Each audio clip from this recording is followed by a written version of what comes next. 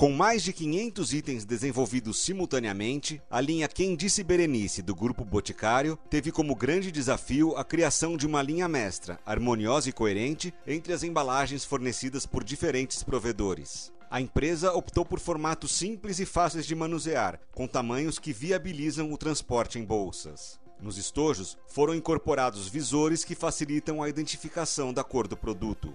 Todos os itens foi estampado o ícone da marca, uma boca que também simboliza um coração de lado. Nas tampas dos batons, o logotipo aparece em alto relevo. Com mais de 100 SKUs, a linha de batons exigiu a criação de um código de cores para diferenciar as variantes entre si. Nas máscaras para cílios, a empresa decidiu vender os frascos das sete formulações separados das 13 variações de escova aplicadora, criando com isso um leque de 91 opções diferentes para a consumidora. Nos pontos de venda, as embalagens secundárias têm papel fundamental na exposição do produto e na organização da loja, dividindo os itens em subcategorias.